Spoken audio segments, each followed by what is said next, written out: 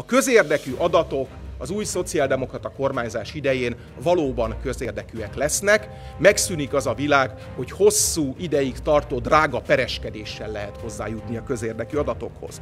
És hogyha el akarná titkolni valaki ezeket a közérdekű adatokat, bármelyik politikus vagy közszolgáltatásban dolgozó, azt meg fogjuk büntetni, nem általában, hanem nagyon konkrétan bűncselekményé fogjuk nyilvánítani a közérdekű adatok eltitkolását.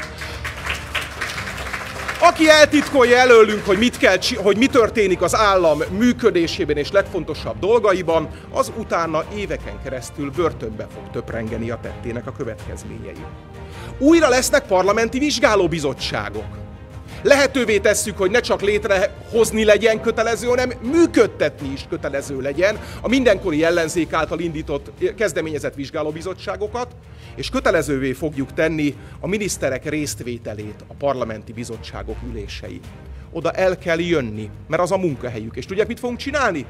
Be fogjuk vezetni a miniszterek parlamenti bizottsági ülésen való részvételét tekintve ugyanazokat a szabályokat, ami a bíróságokon van, mikor valakit tanúnak idéznek. Ha nem jön, akkor megbírságoljuk, ha másodszor nem jön, akkor pedig egy rendőrrel elővezettetjük. Ezt fogjuk csinálni.